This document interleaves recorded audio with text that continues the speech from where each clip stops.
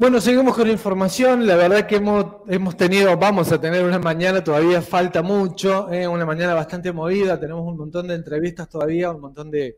Tenemos el informe especial sobre violencia de género, que vamos a estar hablando con la Secretaría de la Mujer eh, y también vamos a hablar con eh, alguien que representa a la agrupación feminista, que tiene mucho que ver con todo lo que le sucede a la mujer y estas eh, estas cosas que están pasando, ¿no? Estas actitudes y, esta violencia que se ha vivido en San Luis, como te decía, esta niña de 18 años que fue apuñalada 43 veces por su compañera de escuela, esta docente que recibió eh, un disparo en su, rodilla, que, el marido, la verdad, el video es terrible, le dispara a través de una puerta. Eh, esta mujer que la mandó al hospital un, un policía también, que su expareja que también la golpeó porque no le respondió un mensaje hace un año que están separados. Tenemos un montón de cosas para hablar de hoy, en especial este informe que te contamos, pero por ahora nos vamos a ir a, hablar de Gran Hermano, digamos, ¿no? Porque hay una persona, un chico, que quiere, quiere irse a la puerta de la casa de Gran Hermano. O sea, él nos va a contar de qué se trata. Eh, así que, bueno, eh, le dicen el loco de la bici, es de Santa Rosa del Conlara. ¿Cómo estás? Buen día. Hola, buenos días, ¿cómo anda, maestro? Bien, bien, bien. Bueno, contame un poco, ¿qué, cuál es tu idea? ¿Qué es lo que pensás hacer? Bueno, mi idea, bueno, empezó hace más o menos dos meses, queriendo con esto de Gran Hermano, y me puse en la cabeza que, va, todo esto lo estoy haciendo por mis hijos. Yo tengo cuatro hijos, eh, una nena y tres varones, la nena de diez, eh, Aquiles, que es el segundo de siete, el tercer cinco y un nene de un año y ocho meses. Y vendría a ser todo esto, lo estoy haciendo por ello, porque como todos saben, la situación, la situación está fea en el país, en todos lados, y, no es que tenga un trabajo en blanco, fijo. Esto yo me manejo con changa, todo. Y, ¿Vos, se me puso la cabeza de querer arrancar. Claro, querés ingresar a la casa de Gran Hermano, digo, querés, porque vos te presentaste. No sé si tenemos ahí en producción el video que él graba, justamente vamos a mostrar a Rodolfo el video que vos grabás para a la casa de Gran Hermano. Ahí vamos a ver el video. Bueno, soy Rodolfo Gauna, tengo 28 años, soy de la provincia de San Luis, de un pueblito llamado Santa Rosa y Conlar y quería aprovechar estos minutos para resumirle algo de lo que ha sido mi vida.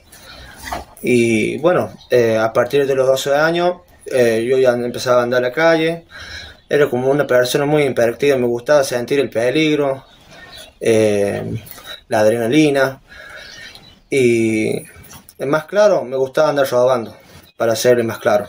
Me gustaba andar robando, eh, bueno, me hice el cabecito negro del pueblo, pasaron unos años que ya lo había cansado la gente del pueblo, eh, literalmente. Me querían sacar del pueblo si no era a un lugar, ubicarme en un lugar, eh, sacarme de la faz de tierras, como decir, pum, desaparecerme. Y bueno, mi vieja se comunicó con el pueblo de se organizaron, hicieron una rifa y me mandaron a Misiones, El Dorado, eh, un centro de rehabilitación. Tuve ocho meses ahí, vi muchas cosas malas eh, que nunca me imaginé. Yo creí que era todo charla cuando, antes del viaje. Y mi mamá me dijo, esto es para ayudar a tu hijo, no te quiero perder. Bueno, le dije yo, le di el sí como para que me lleve, yo creyendo que era todo color de rosa y no, no fue así. Porque cuando llegué, y bueno, mamá se fue, empecé a conocer a los chicos de ahí y la mayoría de los chicos, el que no tenía papá, no tenía mamá o no tenía ninguna de las cosas. Los chicos que estaban en ese lugar iban tiraban literalmente, iban, se dejaban y se iban. Y bueno, y ahí vi muchas cosas, aprendí panadería, eh, como las cosas que usaba mal yo fuera de mi vida, como decía Andrés Robando, las puse en obra ahí y aprendí panadería, todas esas cosas. Bueno, yo cumplí ese tiempo ahí en el centro, entre el mismo club, compañero de ellos. Y por eso yo le ofrezco gente, es algo único, algo loco. Por ejemplo, yo tengo cero idea de cómo es la ruta de acá a Buenos Aires. Yo le ofrezco eso, porque la mayoría son todos chetos, hay cunitas de oro. Yo si entrar a la casa, yo le enseñaría a los, a los vaguitos ahí, vaguitos, lo que sea, cómo, cómo se vive ahí en, en mi lugar. Y mandarme en bicicleta es, es algo muy único y loco mandarme solo, sin ayuda, eh, a care perro. Eso es que lo ofrezco, porque la mayoría son dos chetitos, viste, influencias por acá. Bueno, eso es lo que estábamos más o menos viendo el video, sino que, bueno, no tenemos mucho tiempo, por eso lo adelantamos un poco. No hay problema. En cuanto a que No, vos vas en querés irte en bicicleta a Buenos Aires, no conoces la ruta, pero te querés ir por tu familia y querés quedarte en la puerta de la casa de Gran Hermano porque querés entrar.